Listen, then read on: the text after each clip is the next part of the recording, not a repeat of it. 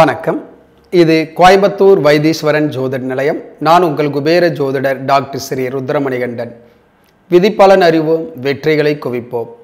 நம்ம இன்னைக்கு குபேர ஜோதிட சேனல் மூலிமா என்ன பார்க்க போகிறோம் அப்படின்னா மாசி மாதத்துக்குண்டான உங்களுடைய ராசிக்கு என்ன பலன் அப்படிங்கிறத பற்றி பார்க்க போகிறோம் இந்த மாதம் கடன் தீரக்கூடிய மைத்திரேய முகூர்த்த நேரம் பணவரவுகள் வரக்கூடிய நினைத்ததை அடையக்கூடிய சோடச கலை நேரம் வீடு கட்ட உகந்த வாஸ்து நேரம். அதே மாதிரி உங்களுக்கு வந்து பயன்படாத பிரச்சனைகள் கொடுக்கக்கூடிய சந்திராஷ்டம காலகட்டங்கள் அதை பற்றி முழுமையாக பார்க்கலாம். இந்த மாதம் நீங்கள் என்ன செய்யணும் என்ன செய்யக்கூடாது போன்ற முழு விவரங்கள் இன்றைக்கி நம்ம பார்க்கலாம்.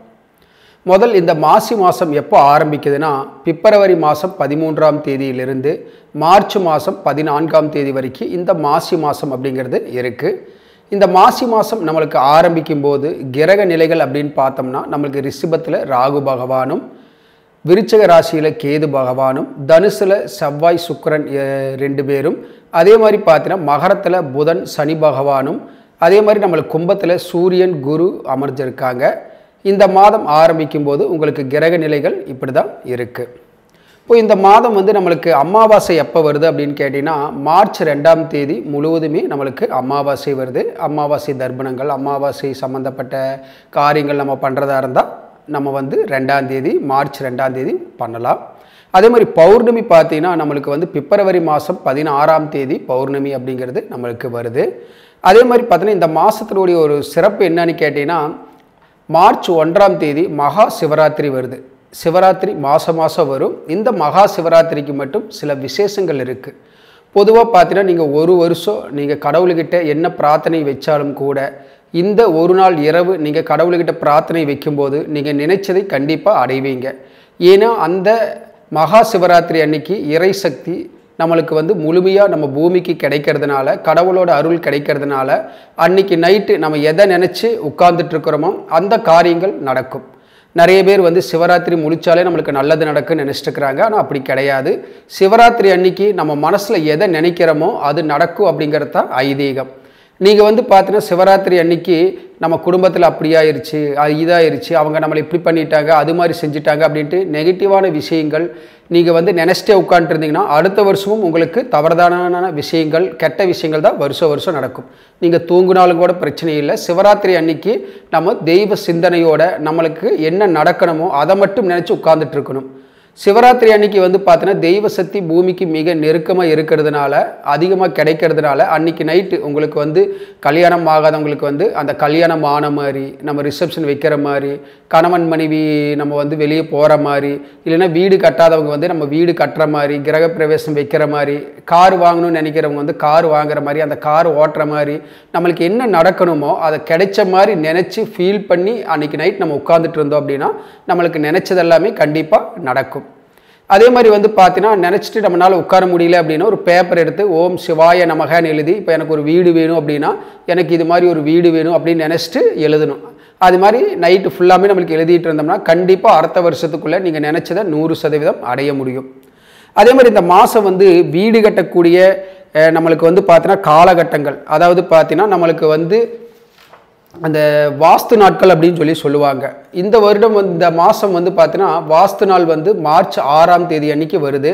இந்த புது வீடு கட்டுறவங்க நம்ம புது வீடை வந்து ஒரு அஸ்திவாரம் போட்டு ஆரம்பிக்கணும்னு நினைக்கிறவங்க வந்து இந்த மார்ச் ஆறாம் தேதி காலையில் பத்து ஆறுலேருந்து பத்து நாற்பத்தி ரெண்டுக்குள்ளே பூமி பூஜை போட்டீங்க அப்படின்னா இந்த வாஸ்து புருஷன் கண் விழிக்கும் நேரத்தில் எந்த ஒரு காரியம் ஆரம்பித்தாலும் அந்த வீடு சம்மந்தப்பட்ட காரியங்கள் நம்மளுக்கு தடையில்லாமல் முடியும்.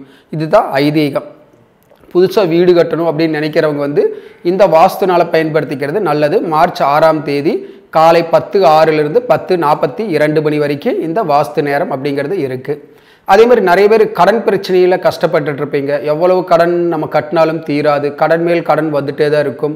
இந்த கடன் தீரதுக்கு வந்து நம்ம முன்னோர்கள் மைத்ரேய முகூர்த்தம் அப்படிங்கிறத ஒன்று நிர்ணயம் பண்ணியிருக்கிறாங்க. அந்த மைத்ரேய முகூர்த்த நேரத்தில் நீங்கள் கடன் கட்ட ஆரம்பிச்சிங்கன்னா சீக்கிரமாகவே கடன் பிரச்சனைகள் அப்படிங்கிறது வந்து உங்களுக்கு நிவர்த்தி ஆயிரும். அந்த கடன் முழுசாக கட்ட முடியலைனாலும் கூட கடனில் ஒரு சிறு பகுதி கடன் வாங்கினவங்க கிட்ட கொடுங்க.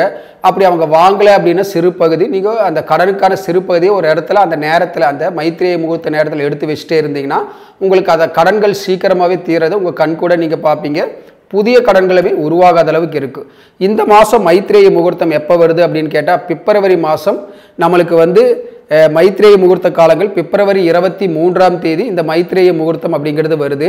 இந்திய நேரப்படி வந்து இரவு பதினொன்று நாற்பதிலிருந்து ஒன்று ஐம்பத்தி ஏழு வரைக்கும் இருக்கு. அதாவது நமக்கு நைட் நேரம் வரும். அந்நேரம் முடிஞ்சவங்க எடுத்து வைங்க. அப்படி இல்லைனாலும் கூட மார்ச் ஆறாம் தேதி அன்னைக்கு காலையில் எட்டு முப்பத்தி அஞ்சு மணியிலிருந்து பத்து இருபத்தி மூணு வரைக்கும் அந்த மைத்ரேய முகூர்த்தம் இருக்குது அந்த நேரத்துலையுமே நீங்கள் எடுத்து வைக்கலாம்.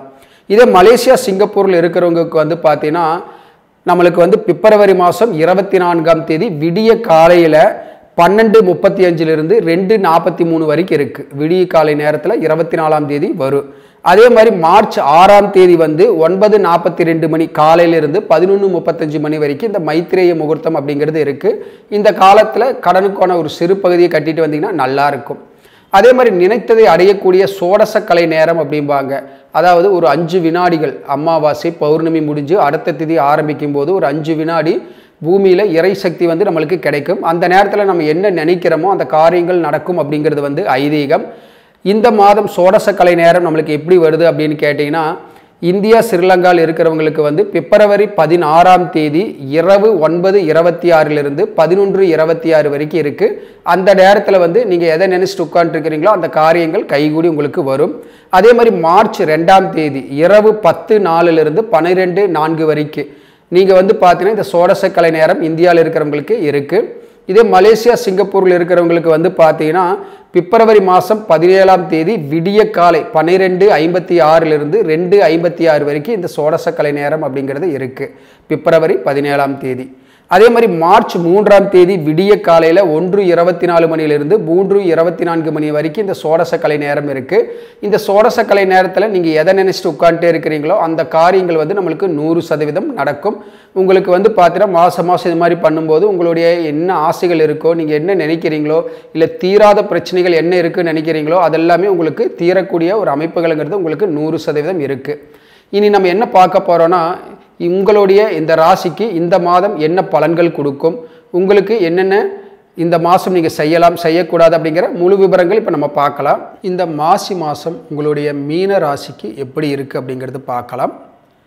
பூரட்டாதி நான்காம் பாதமும் உத்தரட்டாதி ஒன்று இரண்டு மூன்று நான்கு பாதங்களும் ரேவதி ஒன்று இரண்டு மூன்று நான்கு பாதங்களும் இருக்கக்கூடிய மீன ராசி அன்பர்களுக்கு உங்களுடைய ராசிநாதன் பன்னெண்டாம் இடத்துல மறைஞ்சிருக்கிறதுனால எது செஞ்சாலுமே சிரமப்பட்டு பண்ண வேண்டியதாக இருக்கும்.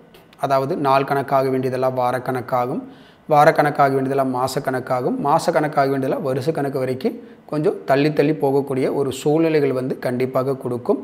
மன உறுதியோடு இந்த மாதம் வந்து போராடக்கூடிய ஒரு மாதமாக தான் இருக்கும். அதே மாதிரி பார்த்தீங்கன்னா தொழில் சம்மந்தப்பட்ட ரீதியில் கொஞ்சம் விரயங்கள் அதிகமாக கொடுக்கும். தொழில் சம்மந்தப்பட்ட ரீதியில் நிறைய அலைச்சல்கள் பிரயாணங்கள் வந்து அதிகமாக போகக்கூடிய ஒரு சூழ்நிலைகள் வந்து கண்டிப்பாக கொடுக்கும். உங்களுக்கு வாக்குஸ்தானாதிபதி வந்து உச்சம் பெற்று பதினொன்றாம் இடத்துல அமர்ந்து வந்திருக்கிறதுனால இந்த மாதம் பிப்ரவரி இருபத்தி ஆறாம் தேதிக்கு பிறகு உங்கள் பேச்சு திறமையினால் சாதிக்கக்கூடிய ஒரு அமைப்புகள் உண்டாகும். நடக்காத காரியத்தையும் கூட உங்கள் பேச்சு திறமையினால் பேசி அதை உங்களுக்கு சாதகமாக முடிக்கக்கூடிய ஒரு சூழ்நிலைகள் வந்து உங்களுக்கு பிப்ரவரி மாதம் இருபத்தி ஆறாம் தேதிக்கு பிறகு ஏற்படும். அதே மாதிரி பார்த்தோன்னா தகப்பனார் வழி சொந்தங்கள் மூலியமாக தகப்பனார் வழியிலையுமே உங்களுக்கு வந்து நல்ல ஒரு ஆதரவு செல்வாக்கு அதெல்லாமே இந்த பிப்ரவரி இருபத்தி ஆறாம் தேதிக்கு பிறகு கைகூடி வரும். அதே மாதிரி இந்த கோயில் காரியங்கள் ஆன்மீக வழி ஈடுபாடுகள் தூரத்து பிரயாணங்கள் அது மாதிரி போகக்கூடிய ஒரு சூழ்நிலைகளுமே இந்த மாதம் கண்டிப்பாக உங்களுக்கு கொடுக்கும். அதே மாதிரி பார்த்தீங்கன்னா உங்களுக்கு சகோதர ஸ்தானாதிபதி வந்து இந்த மாதம் லாபஸ்தானத்தில் போய் பிப்ரவரி இருபத்தி ஏழாம் தேதிக்கு பிறகு அமரதுனால சகோதர வழியில் வந்து பார்த்தீங்கன்னா உங்களுக்கு நீங்கள் என்ன ஆசைப்பட்டாலும் அவங்க வழியில் ஒரு நிறைவேறக்கூடிய ஒரு அமைப்புகள் உண்டாகும்.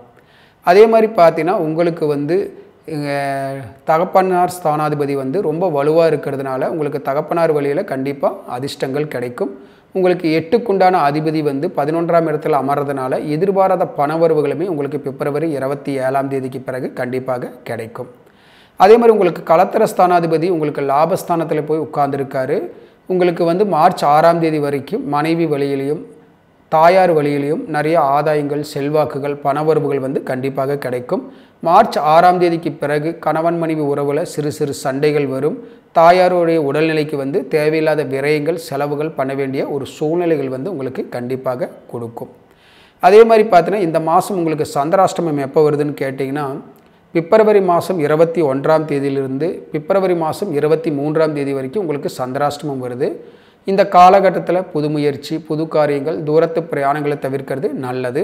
இந்த காலகட்டத்தில் சிறு சிறு விபத்துகள் அதே மாதிரி பார்த்தீங்கன்னா மன கஷ்டங்கள் சீக்கிரம் நம்ம ஏமாறுறது மற்றவங்க வந்து பார்த்தீங்கன்னா நம்மளை புத்தி மாற்றக்கூடிய ஒரு சூழ்நிலைகள் இருக்கிறதுனால இந்த காலகட்டத்தில் வந்து எது செஞ்சாலும் ஒரு தடவைக்கு ரெண்டு தடவை யோசித்து செய்கிறது நல்லது. அதே மாதிரி ஈஸியாக நடக்க வேண்டிய விஷயங்களும் கூட இந்த காலகட்டத்தில் ரொம்ப ரிஸ்க் எடுத்து சிரமப்பட்டு பண்ண வேண்டிய ஒரு சூழ்நிலைகள் கொடுக்கும். அதனால் இந்த காலகட்டத்தில் எது செஞ்சாலுமே கொஞ்சம் வெயிட் பண்ணி செய்கிறது வந்து நம்மளுக்கு நல்லா இருக்கும். உங்களுக்கு இந்த ராசி பலன் வீடியோ பிடிச்சிருந்துச்சுன்னா உங்கள் நண்பர்களுக்கு ஷேர் செய்யுங்க.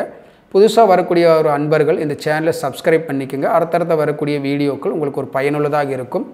உங்களுக்கு ஜோதிட ஆலோசனைகள் தெரிஞ்சுக்கணும் இல்லை உங்களுடைய எதிர்கால பலன்களை பற்றி முழு விவரமாக உங்களுக்கு தெரிஞ்சுக்கணும் இல்லை உங்களுக்கு இருக்கக்கூடிய தீராத பிரச்சனைகளுக்கான தீர்வுகள் உங்களுக்கு தெரிஞ்சுக்கணுன்னா கீழே இருக்கக்கூடிய எண்ணிற்கு வாட்ஸ்அப் செய்யுங்கள். நன்றி வணக்கம்.